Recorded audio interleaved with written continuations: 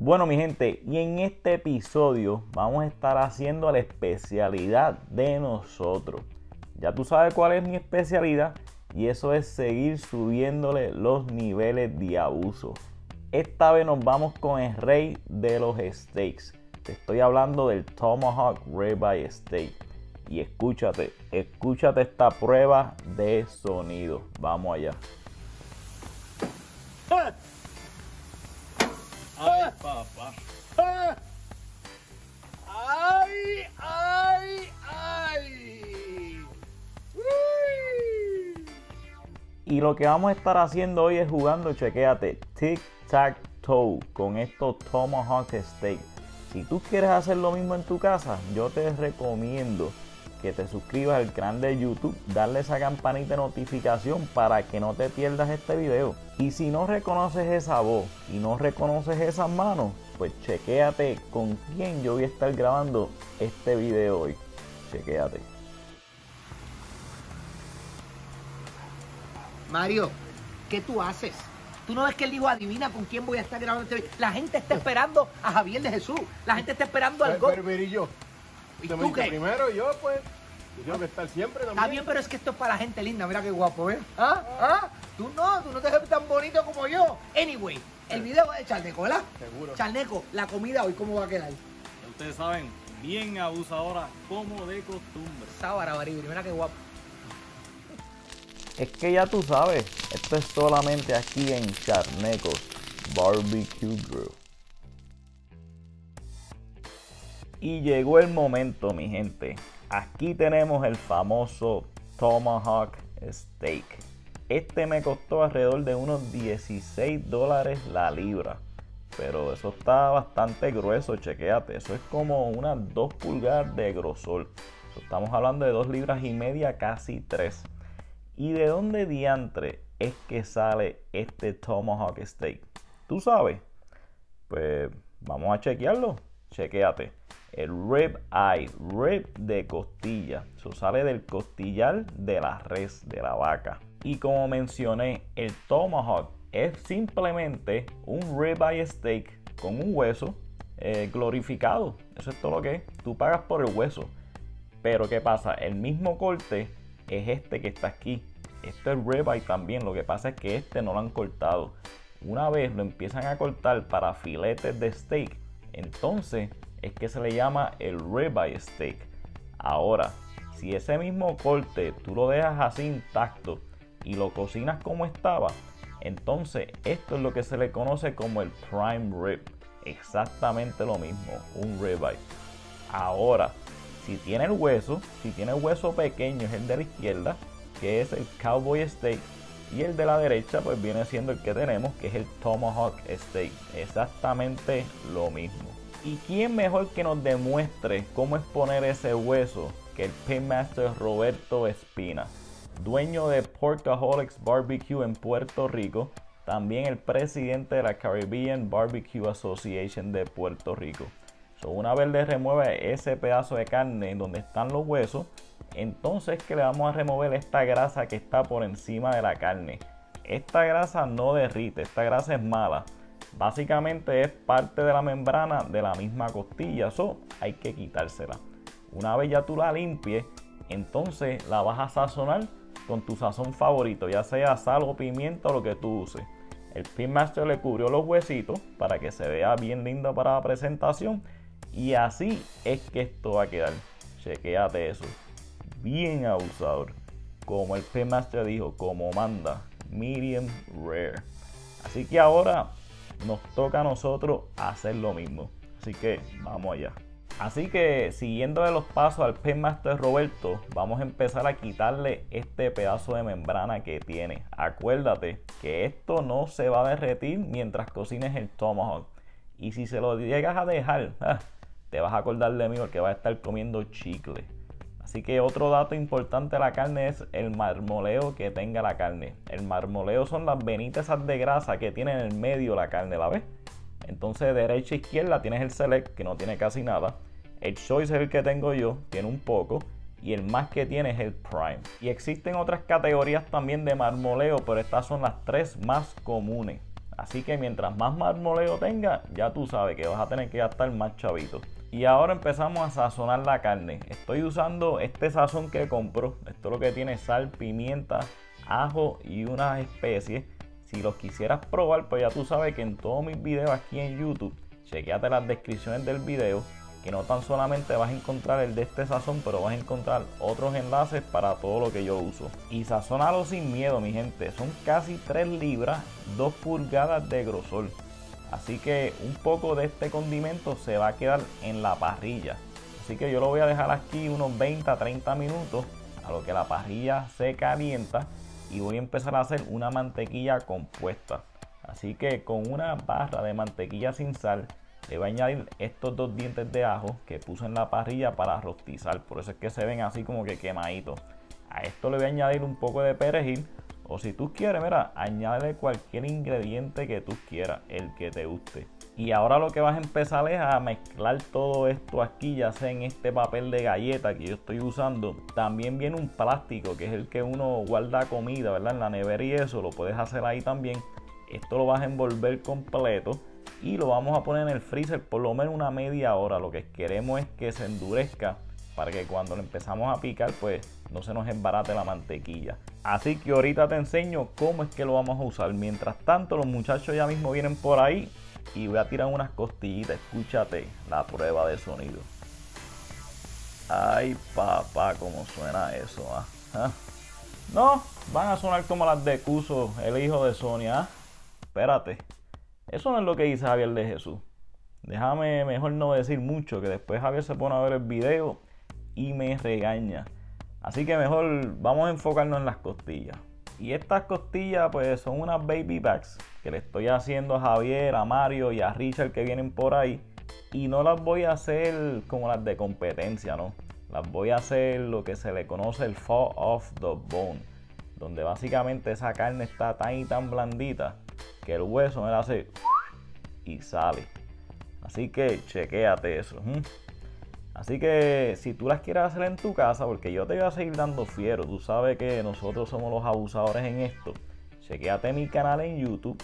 Si no me equivoco, es el video número 65, donde verás. Nos guillamos de dentista, era sacando hueso a todo lo que da. Mientras tanto, los muchachos ya llegaron, así que vámonos con ellos allá a ver qué están haciendo. Y chequéate con quién estamos, era. El Mario. El Mario.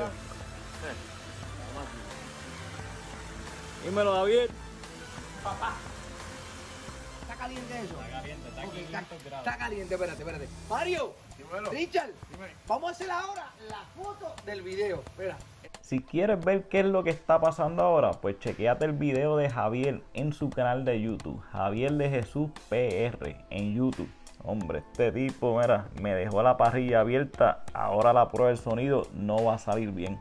Bueno, vamos allá. Con el barbecue. Maestro, usted explique qué usted va a hacer ahí, que yo lo voy a estar grabando. Lo que vamos a hacer, vamos a sellar los dos tomahawks. Esto es lo que yo le digo, la prueba de sonido. ¡Ay! Escúchate esto. ¡Ah! Ay, papá.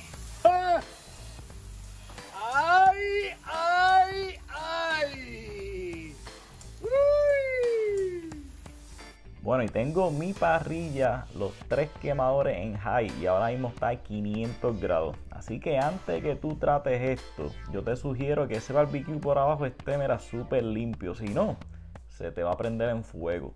Entonces le eché dos pedacitos de leña mezquite a la parte de abajo que ya se quemaron. Y después de unos 3 minutos es que estoy rotando los steaks para hacer esas marquitas que tanto nos gusta a nosotros, que son las marcas de diamante.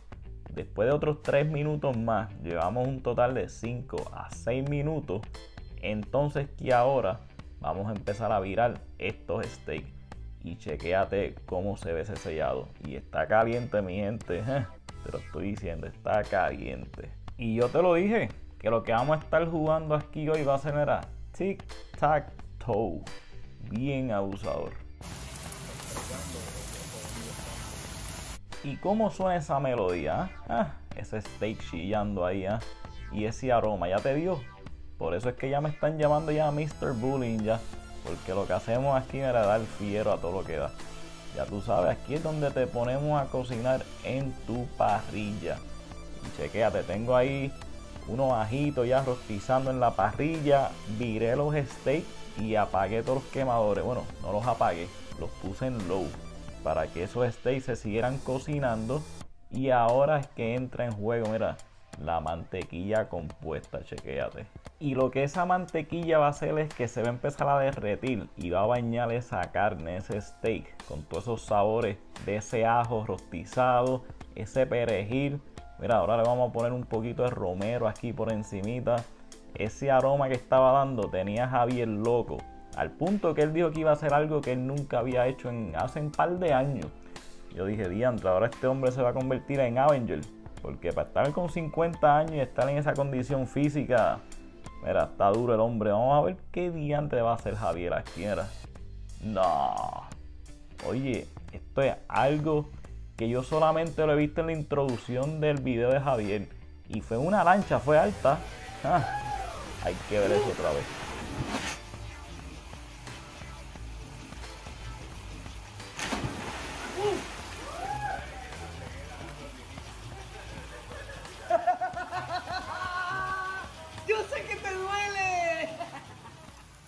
Después de 20 minutos en la parrilla, ya estos steaks están listos. Ahora, ¿cómo tú vas a saber que están listos? Pues hay dos maneras de cómo saberlo. El primero es este, pero este normalmente yo lo hago cuando los steaks son un poco más finos. Es tocándolo y pues, si te gusta bien cocido, pues ni modo que se puede hacer. Pero en esta ocasión, al ser tan grueso, yo usé el termómetro. El primero lo saqué a los 125 grados porque Javier los quería medium rare. Y el segundo lo saqué a los 140 grados para los demás que los querían medium.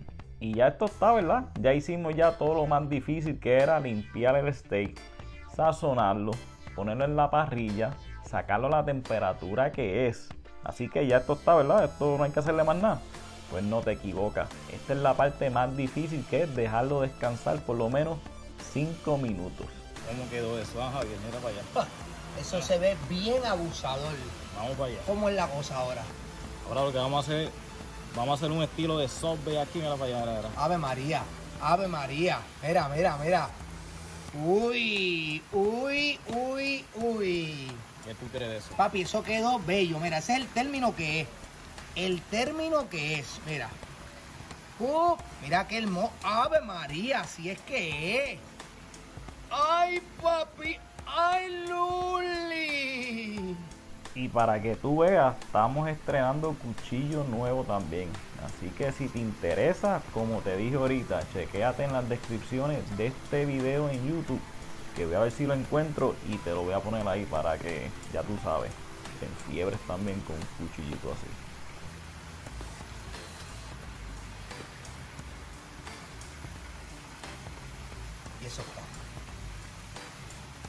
Papi, así es que es eso, mira, rosadito, como Dios manda. Vamos a ver si nos graduamos y paso esta prueba con Javier y Mario. Así que vamos allá. Ustedes pueden ver cómo quedaron las costillas de costumbre. Ustedes saben que esto, ustedes lo han visto en mi canal de YouTube. Pero ese tomahawk que Javier está picando ahí, es la primera vez que lo hago. Javier, ¿qué tú crees de eso? A mí no me hables, caballo. ¿No? Que Ah. yo, no, no, no, no, no, es que no tengo tiempo para hablar. Ah. Mm. Papi, esto está bien abusador, ¿sabes? Olvídate la ruta del barbecue esa que tú estás haciendo. Quédate aquí, no de vuelta, quédate aquí, lo haces tú. Porque es que, eh, papi. Con nosotros. Ah, ah. Con nosotros, solo ni para acá. La ruta de barbecue en Siria es lo que va. Oye, no, no, y estas costillitas, mira esto, mira esto, mira esto, gente. Miren eso, miren eso, mira. Si es que esto, esto se, mira esto, mira. Yo le voy a quitar un poquito de la grasita que tiene aquí atrás, para que no digan, no, que no, no, vamos a probar la carnecita, la carnecita como tal. Pap, miren esto, gente. El Miren, glaciado, el glaciado, mira. Mm, mm, mm. Papi, esto está de verdad, de verdad, de verdad, bien abusador. En la madre, mira eso, mira eso. Bien cocinado, el término, el sazón, eh, la textura, caballo, esto es del más allá. Y a esto le echaste un dry rub, ¿verdad? Un dry rub tejano. Le, le eché un dry rub eh, que yo siempre uso. eh, ya para mis seguidores, ustedes saben, chequense en la descripción del video, que ahí está el enlace si lo quiere. Ya está. Eh, ahí está el, el barbecue rub, ahí está el rub del, este, del tomahawk. Ahí hay un sinnúmero de cosas que ustedes Ya. saben ya que ustedes pueden este, buscar en línea. Sí, yo, yo en mi caso, cuando hago los tomahawk, le echo sudor de yegua albina. Porque la yegua albina suda saladito. Y entonces con eso ella queda, mira, pero mira esto, mira. Esto pegado al hueso Eso no así. se puede perder. Ah, no, no, imagínate, la- el que me conoce a mí y sabe mis andanzas, sabe que a mí me gusta lo que está pegado al hueso. Eh, Chequéate eso ahí. No hay más nada que hablar, ¿verdad? no, no. Papi, Así que mi gente, ya, usted- ya ustedes saben, mi gente, era el Burger Go. Pueden ver a Mario ahí. De vez en cuando Javier se aparece. Eh, las páginas tuyas, Javier. Javier de Jesús PR, en todos lados, Instagram, Twitter, Facebook, Javier de Jesús PR. Así Ah. que, así que ya saben, mi gente, la ruta del barbecue en Puerto Rico, yo creo que la próxima parada, aquí, mira, esta que está aquí en City. yo no sé cuál es la Mm. próxima parada, pero la próxima acostada va a ser la que yo me dé después de comer aquí, que me voy a dormir hasta mañana. Así que ya tú sabes, mi gente, ¿cómo es que dice Javier de Jesús? Si te gustó, dale like. Si no te gustó, Dale like. Pero comenta. Ahí. A Ahí saber. está. Comenta cómo te gustan las costillas, si se salen del hueso, o sea, si el hueso lo sacas fácil, si te gusta que, eh, que esté un poquito menos cocinada, cómo te gusta el tomahawk, si te gusta medium well, well done, o sea, de- déjanos tu comentario. queremos saber tu opinión. Di lo que- es más, dinos cómo te gustan las jevas o los jevos, no importa, dinos algo, coño, dinos algo. Así que nada, mi gente, eh, esta es la parte más difícil de nosotros aquí, este, pero ya ustedes saben, así que yo los veo en el próximo video. Oye, vamos a darle rewind a esto para que ustedes vean un pedacito del video original de Javier de Jesús. Oye, yo no sabía que nosotros sabíamos hasta otro idioma, chequéate.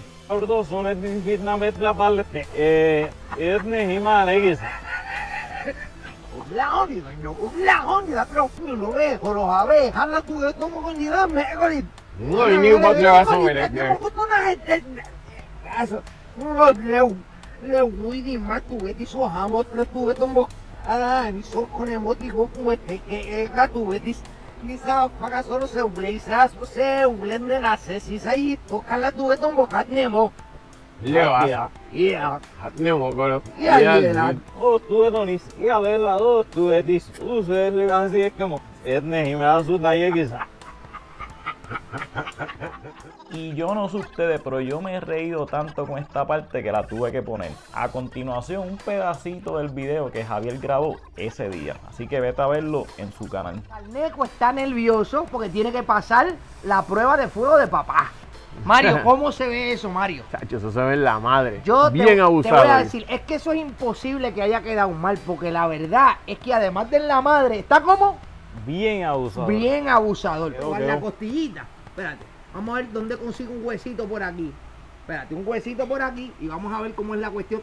Mm. Mira esto, pero es que esto, pero es que esto se, esto se cae, papá, vamos esto. Por aquí tiene grasita, pero a mí, tú sabes que a mí eso no me importa. Esos son tres libras de, de carne, Ah, Javier. Son ¿tres libras de carne? Son tres libras. Muchacho. Eh, Si yo, te, si yo te presento la ex mía, tenía muchísimas más libras que esta.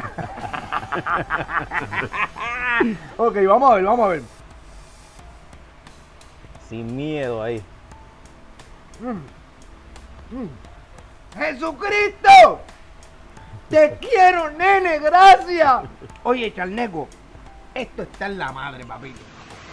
Y Antes, Javier, ¿ustedes llevan una semana sin comer, eh? Chacho, para allá. ¿Qué fue? Dímelo. Quedó malo, malo, malo. Qué bueno que tú no estabas aquí.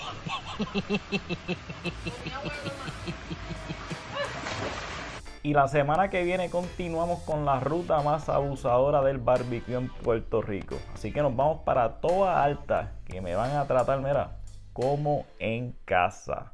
Ay, papá.